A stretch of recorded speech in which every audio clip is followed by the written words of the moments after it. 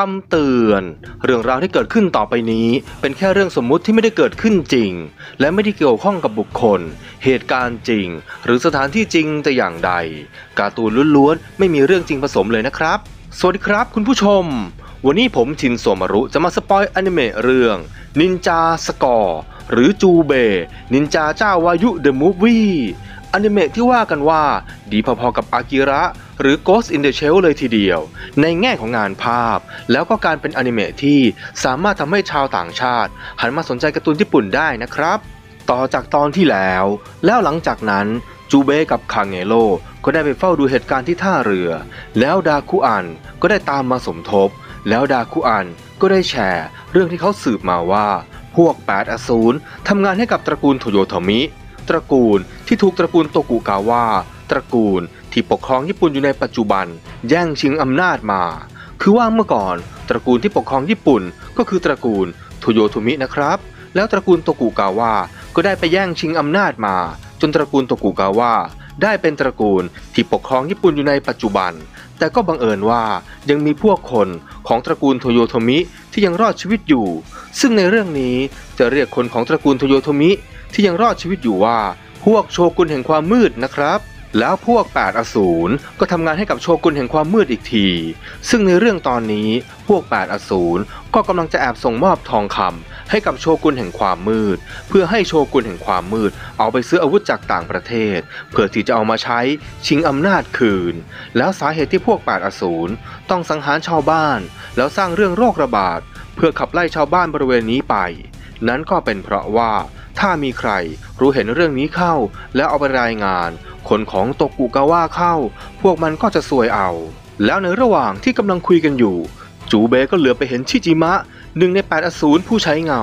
กำลังด้อมๆมองๆอยู่แถวนั้น แล้วพอชิจิมะรู้ว่าพวกจูเบเห็นมันแล้ว มันก็ได้ออกจากที่ซ่อน แล้วก็ใช้วิชาแยกร่าง จากนั้นก็ป่าอาวุธบินใส่คาเงโล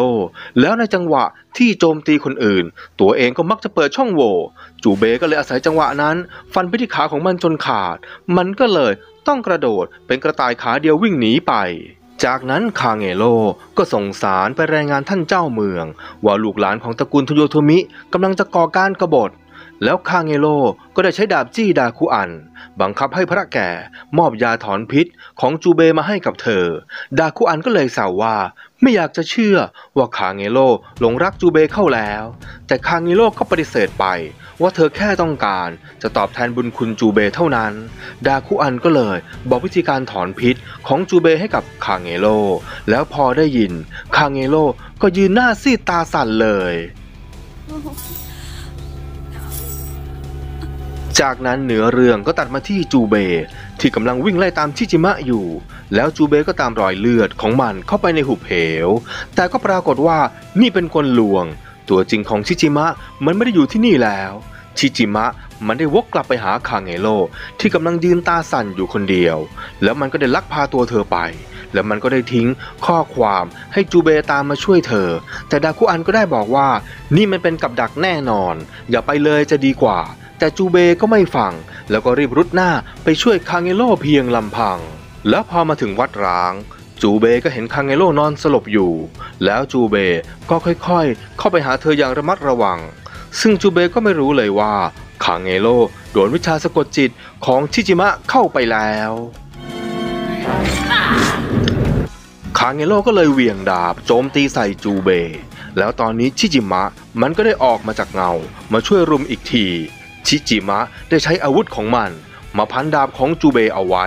ทำให้จูเบไม่สามารถเอาดาบมาป้องกันตัวเองได้ จูเบก็เลยต้องเอาแขนของตัวเอง มารับมีดสั้นของคางเงโล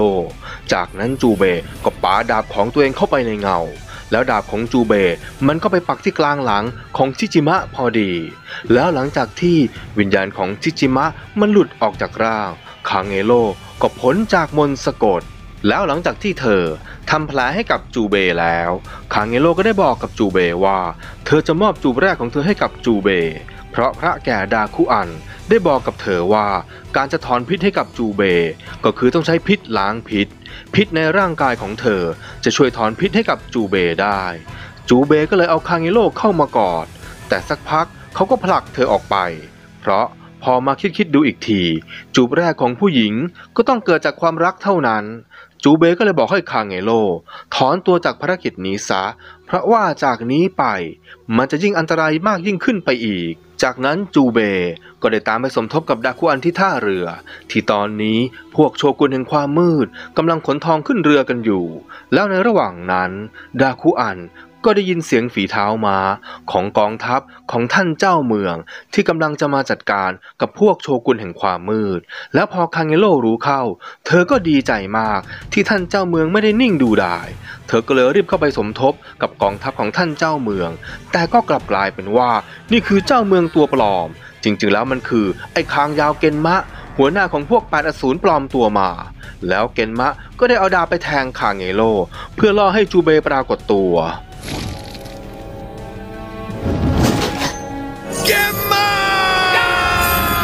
แล้วจูเบก็โผล่มาตามคำขอ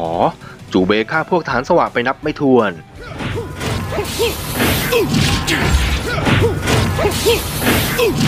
เห็นมะเห็นแล้วก็เสียดายลูกน้อง มันก็เลยจะเข้าไปจัดการเอง แต่ยูริมารุก็ได้มาบอกว่า ท่านรีบขึ้นเรือไปเถอะ เดี๋ยวข้าจะจัดการกับจูเบให้ท่านเอง แล้วจากนั้นยูริมารุก็รอให้จูเบสู้กับพวกฐานสวะจนเหนื่อย แล้วก็แอบเอาเส้นได้มารัดคอจูเบ แล้วก็จับจูเบแขวนคอ แล้วจากนั้นก็เอาไฟฟ้าช็อต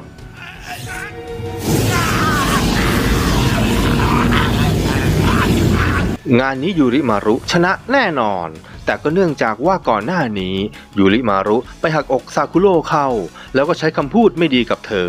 ซาคุโร่ก็เลยแค้นฝังหุ่น ซาคุโร่ก็เลย ส่งกับดักระเบิดหนูของเธอมาจัดการกับยูริมารุกับจูเบ ไปพร้อมๆกัน แต่ก็เนื่องจากว่าจูเบ อาศัยจังหวะเพียงเซียววิ เอาตัวรอดมาได้ยูริมารุก็เลยโดนระเบิดไปคนเดียว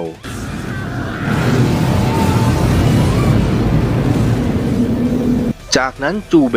ก็รีบวิ่งไปหาคางเงโลที่บาดเจ็บหนักแล้วใกล้จะตาย แล้วคางเงโลก็ได้บอกกับจูเบว่า เธอหลงรักจูเบ แล้วไหนๆเธอก็จะตายอยู่แล้ว ถ้าไม่เหลือบากว่าแรง ก็ขอให้จูเบ ช่วยจูบเธอหน่อยได้ไหม ไม่ว่าจะเป็นเพราะว่าจูเบเองก็แอบชอบเธออยู่เหมือนกัน หรือว่าจะแค่อยากได้ขยาถอนพิษก็ตาม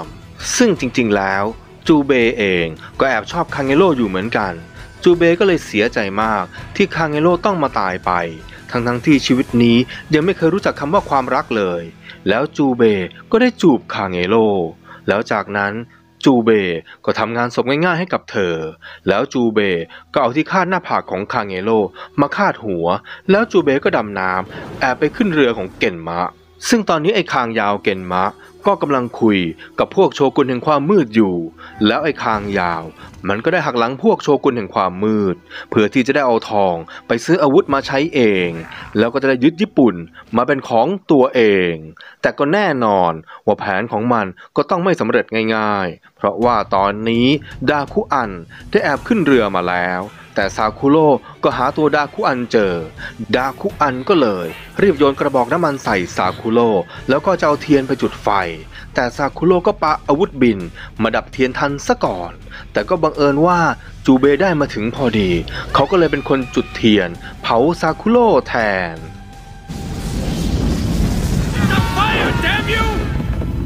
ซึ่งก็เนื่องจากว่าในตัวของซาคุโรมีดินระเบิดอยู่ ตัวของมันก็เลยระเบิด จนเรือลำนี้ติดไฟไปครึ่งลำ ซึ่งถ้าเรือลำนี้ล่มแล้วทองจมน้ำไป แผนการของเกนมะก็จะล้มเหลว เกนมะก็เลยรีบไปจัดการกับผู้บุกรุก แล้วไอ้คางยาวก็ได้เห็นใบหน้าของเพื่อนเก่าของมัน คิบากามิจูเบ แล้วทั้งสองคนก็ได้ต่อสู้กัน อย่างเอาเป็นเอาตาย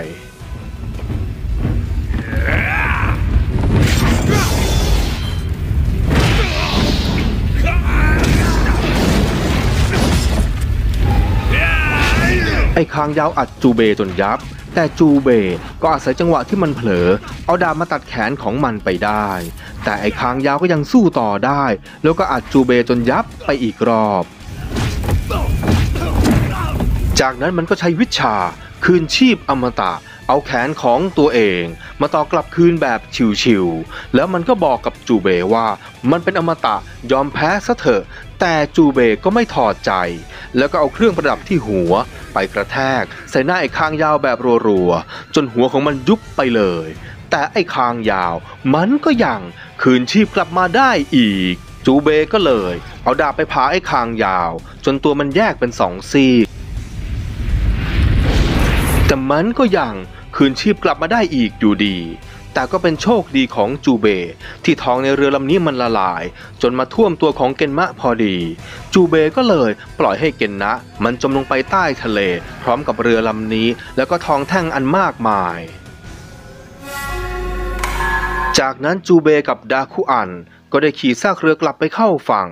แล้วก็เนื่องจากว่า จูเบได้ยาถอนพิษไปแล้ว ดาคุอันก็เลยจะให้ทองเขาอย่างเดียว แต่จูเบก็ได้ปฏิเสธ ด้วยการทำให้ทองแท่งของดาคุอันตกน้ำไป